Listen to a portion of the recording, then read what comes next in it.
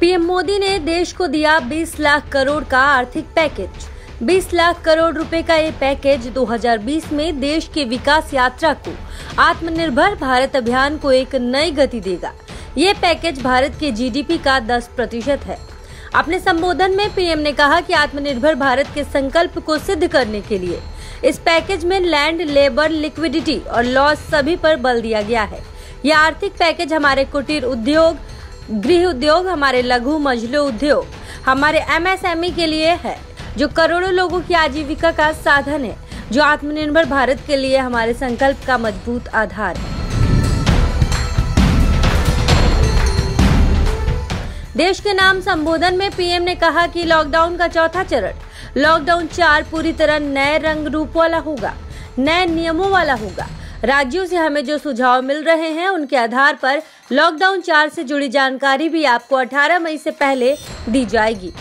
PM Modi ने कहा कि आत्मनिर्भर भारत का ये युग हर भारतवासी के लिए नूतन प्रण भी होगा, नूतन पर्व भी होगा। अब एक नई प्राण शक्ति, नई संकल्प शक्ति के साथ हमें आगे बढ़ना है। आत्मनिर्भरता हमें सुख और संतोष देने के साथ साथ सशक्त भी करती है। 21वीं सदी भारत की सदी बनाने का हमारा दायित्व आत्मनिर्भर भारत के प्रण से ही पूरा होगा। इस दायित्व को 130 करोड़ देशवासियों की प्राण शक्ति से ही ऊर्जा मिलेगी। यूपी में पहुँचे 233 ट्रेनों से दो लाख इक्यासी हज़ार मजदूर। ये बताते हुए अपर मुख्य सचिव गृह अवनीश अवस्थी ने बताया कि मुख्यमंत्री योगी आदित्यनाथ ने कहा है कि मजदूरों की सुविधा का पूरा ख्याल रखा जाए। उन्होंने कहा कि सीएम का आदेश है कि प्रवासी कामगारों, श्रमिकों सहित किसी भी जरूरतमंद के पास राशन कार्ड न होने पर उन्हें खाद्यान्न उपलब्ध कराया जाए।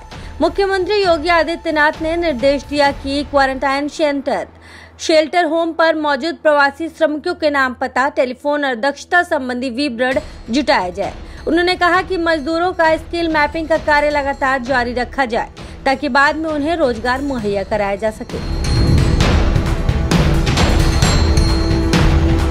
कोरोना संकट के बीच अजीम प्रेमजी यूनिवर्सिटी और सिविल सोसाइटी ऑर्गेनाइजेशन के सर्वे में देश में रोज़गार के मोर्चे पर चौंकाने वाले आंकड़े सामने आए हैं। लॉकडाउन के बीच सर्वे में पता चला है कि दो तिहाई से ज़्यादा लोगों के पास रोजी रोटी का ज़रिया खत्म हो गया। वहीं जिन लोगों के पास रोज़गार बचा है, उनकी कमाई में भारी कमी आई है। आलम यह है कि आधे से ज़्यादा घरों में कुल कमाई से हफ़्ते भर का ज़रूरी सामान भी खरीदना मुश्किल हो रहा है। शोधकर्ताओं के मुताबिक लॉकडाउन की वजह से न सिर्फ़ बड़ी कंपनियों में कामकाज ठप हुआ, बल्कि उसके सहारे चल रहे स्वरोजगार के तमाम धंधे भी बंद होते जा रहे हैं। यह चिंता की बड़ी वजह है। दिल्ली में कोरोना से हुई मौत के आंकड़ों को लेकर विवाद थमने का नाम नहीं ले रहा है। दिल्ली भारतीय जनता पार्टी बीजेपी के बाद अब दिल्ली नगर निगम ने केजरीवाल सरकार पर कोरोना संक्रमण से हुई मौतों के आंकड़े छिपाने का आरोप लगाया है। दिल्ली नगर निगम ने बकायदा आधिकारिक रूप से सूची भी जारी कर एमसीडी ने कोरोना से होने वाली मौतों के आधिकारिक आंकड़े जारी किए। एमसीडी ने दिल्ली में कोरोना से 340 लोगों की मौत का दावा किया।